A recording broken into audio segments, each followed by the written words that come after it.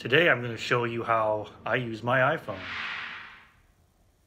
So Apple products, iPhones, iPads, iPods have a built-in screen reader called VoiceOver. 3:16 p.m. So VoiceOver is what's known as a screen reader. And a screen reader is a piece of software that reads all the elements on my cell phone or my smartphone aloud to me. Now I access everything on the smartphone differently than a sighted person would. I use gestures with my fingers in order to navigate around the screen. So I can use one finger and I can swipe left or right Calendar, Tuesday, October 23rd. to switch between the apps on my screen. Weather. News. App Store. Settings. App Store. News. App Store. Settings. And then to activate an app, I can double tap on the screen with one finger. Maps. Settings. Now I'm going to show you Settings. Heading. how to turn voiceover on if you are helping someone who is visually impaired or blind, or if you are visually impaired or blind. There are different ways of doing this, but I'm going to show you how to go into the settings and find voiceover and turn it on. Search. Greg Keith. Airplane. Wi-Fi. Bluetooth. Cellular. Notification. Sounds. Do not disturb. Screen time. General. Button. Go into general. I'm going to double tap. Selected. Settings. Back button. General. Heading. I'm going to use one finger and swipe to the right. About. Button. Software update. AirDrop. Button. Down Handoff. to- Button. I'm going to go down to accessibility CarPlay. But accessibility. Button. and double click. Selected. General. Back button. And I'm going to look for the option called voiceover. Accessibility. Heading. Vision. Heading. Voiceover. On. Button.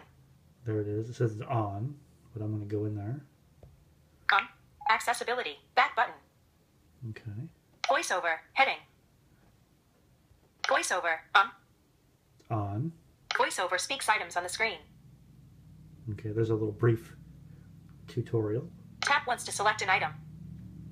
Double tap to activate the selected item. Swipe three fingers to scroll. Voiceover practice. Button. So I'm back here on my home screen, and I'm just going to swipe left and right to show you what apps are here on my home screen. Calendar. Tuesday, October 23rd. Weather. News. App Store. Settings. Maps.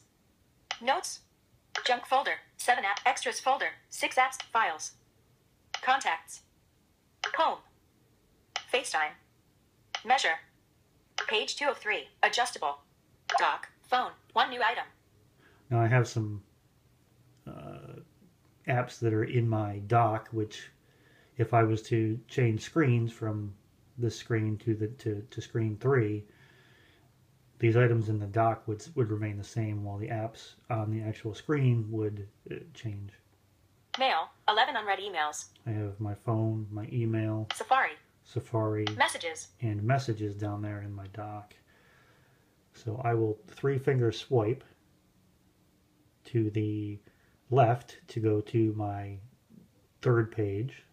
Okay, Actions available. If it'll cooperate. Measure. Page 3 of 3. Facebook. Okay. So again, I can swipe left or right. YouTube. Music folder. 2 app camera. Photos. iMovie. Amazon Alexa. Seeing AI. Spotify. Tap tap see. Messenger. One new app. Health. Messenger. One new item. Oh, I have someone trying to get a hold of me on Messenger. Health. GarageBand. Blind bargains. A blind legend. Selfieeks. Talking tuner. Amazon. Uber. YT Studio. Bard Mobile. WBNG 12 new. Page 3 of 3. Adjustable. Okay, so there are my, you know, just some of my apps on my uh, home screens. So let's check out Facebook here real quick. I'm to Facebook. double tap on that.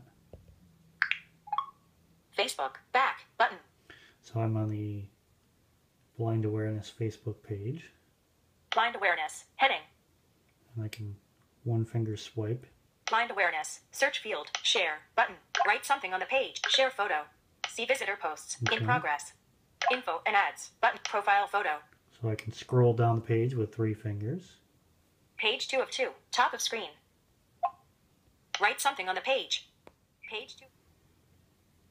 See all. Blind awareness. September 19th. Everyone. More. 1. Who uses a white cane? While in pop culture the white cane is synonymous with total blindness, in reality most users are not completely blind. About 85% have some degree of vision. That vision may be light perception only or all the way to some usable vision. The Now I can gives us the stop her ability from talking by touching two fingers to the screen. 2. That's very helpful because sometimes she gets talking out of control and I just want to throw my phone out the window because Siri is driving me crazy. Alright guys, that about wraps this video up. So stay tuned because I'm going to be doing more iOS voiceover videos in the future. So that being said, why don't I ask you a question? Which do you prefer?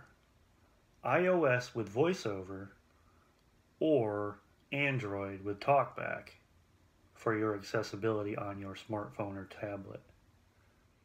So let me know what you think down in the comments below. And this has been another episode of The Blind Guy Show. I'm out.